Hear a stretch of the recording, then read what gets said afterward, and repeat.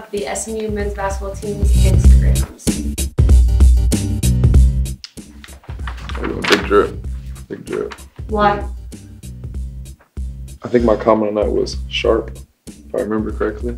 Um, I don't know. I, I mean, I put it together, so I think. I mean, Tank tops are in. Yeah. Um. Yeah. I, I didn't hear. it. It's calm. I like it. Yeah. You like it? Yeah. We like the distracted pose on my phone. Yeah. I don't like the pose, but I like the fit. I wish he was more engaged with the audience looking at the camera or something. Well, I think this is one of Jack's best fits.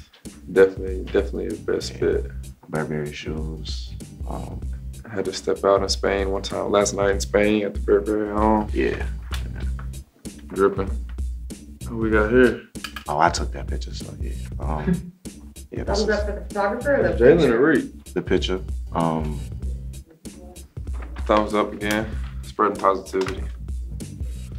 You like the purple? Is it purple? Yeah, it's a frame too. So. Oh yeah, I like that. Like the jorts.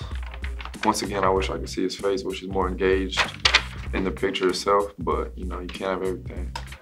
Um. I'm going. I'm going drip again. Yeah, I like it. Can you Keon be describe putting this it on. vibe? What's this vibe? It's like What's- Canadian vibe. You know, it's probably probably that picture was taken in one of the cooler months of the year. Um, I don't remember him posting this. Um. Does he have a Canadian vibe? oh, yeah, for yeah, sure. definitely. Keon actually comes like dressed to school every day. So Oh wow. yeah. Impressive. That's drip. I'm not a fan of the the elevator setting, but the uh, fit is definitely. Yeah, I like the fit. Definitely like yeah, the the fit. department. Um,